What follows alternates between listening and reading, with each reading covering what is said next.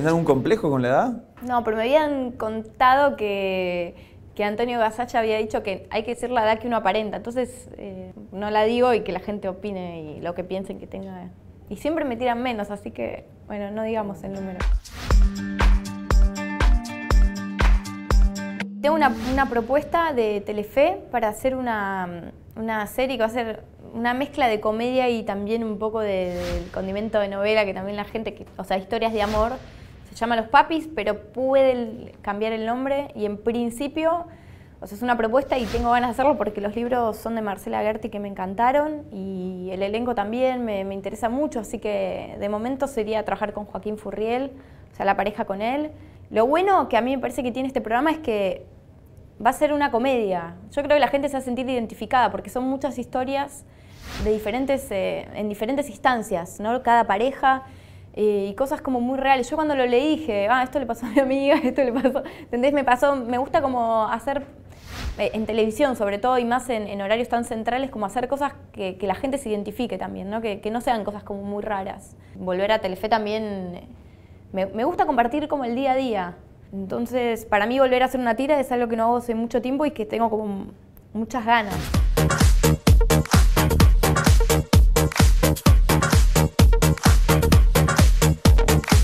Año pasado pasé nueve meses viviendo en hotel, literal. O sea, tuve seis meses en Uruguay filmando Tierra Rebelde, que es una serie para la RAI que vengo haciendo hace unos años.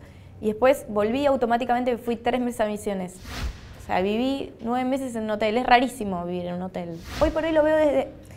Me miro y digo, uy, ¿cómo me fui tanto tiempo? ¿no? Pero evidentemente es porque me gustaban los personajes que me ofrecían, me gustaba la gente con la que trabajaba, me gustaban los países que conocí.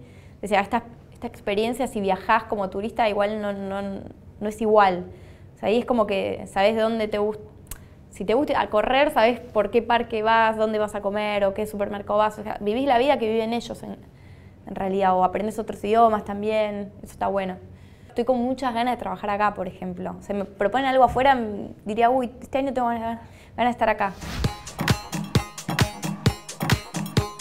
Yo creo que también la gente hablaba mucho porque no lo veían a él en pareja o no me veían a mí en pareja. Eso, y veía que cada tanto nos veíamos o que teníamos el mismo grupo de amigos en común, entonces decían, ah, siguen estando, no están. Entonces la gente como que y la prensa también jugaba con eso, uy, pero se vieron.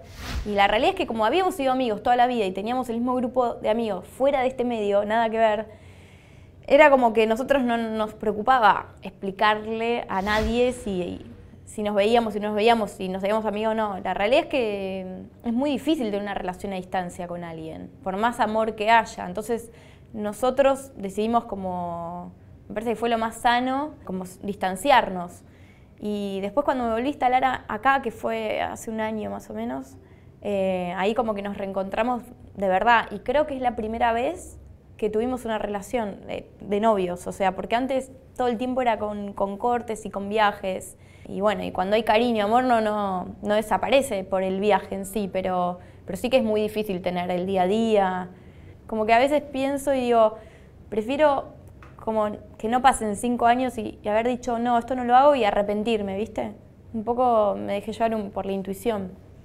Y, y bueno, te das cuenta que si hay amor y si tenés que estar con esa persona, vas a estar. Y si no, no vas a estar.